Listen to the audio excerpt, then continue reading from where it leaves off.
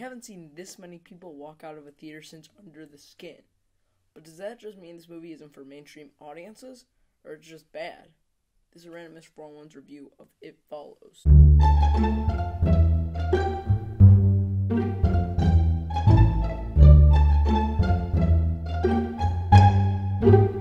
It Follows, directed by David Robert Mitchell, It Follows is about a young teenage girl whom, after having a sexual encounter, contracts a demon type persona that only she can see and follows her everywhere and she can't get rid of it. And that's all I'm really gonna say for this one because I don't want to say that much. Going into this movie, I was not excited at all. All the trailers made it seem like bad, in my opinion, and overall, I just wasn't excited whatsoever.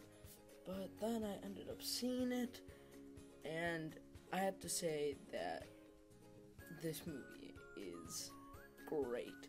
So let's first let's start off with the negative since there aren't that many. I mean to start off there is a there are these girls' neighbors, the main character's neighbors, who really are in like not even full scenes and it just felt really really unnecessary. Like one of the most unnecessary scenes I've seen in a film like ever. And I was just sitting there like weird. And another thing was that their parents weren't ever like really home, and I was like, where'd they go? Question mark. Because they never have any explanation of that whatsoever.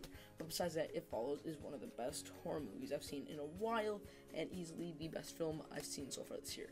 For one, the acting in the movie is really, really well done. Maika Monroe, who was from The Guest, does a fantastic job in this movie.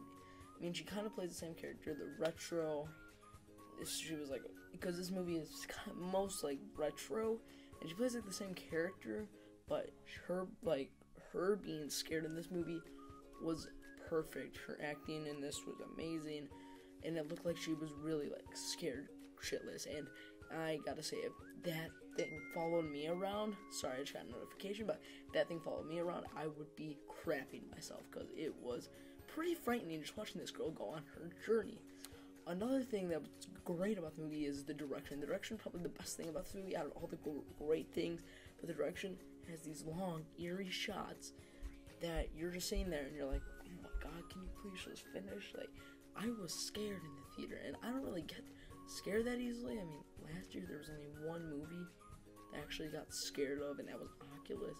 But I don't normally get scared of horror movies. So this, it made me like I didn't ever close my ears or anything, but I was, I was in my seat. Oh God, what's gonna happen? So that's good when a horror movie can make you do that. So props to you, director. Right in the movie, it's not cliched at all. It's actually a really, really original idea. I mean, who would come up with the idea of sexually transmitted demons? Thank you, Captain Vitus, for giving me that, by the way. Um, but yeah, overall, It Follows is a fantastic horror movie that I highly suggest horror fans should check out, but not mainstream audiences because it's very similar to The Babadook, in which it's not really effects like there's no like jump scares for the most part, and I, I just don't think mainstream audiences like this as much as just you know horror fans in general of the past because this is definitely kind of like a homage to like 80s 90s horror films.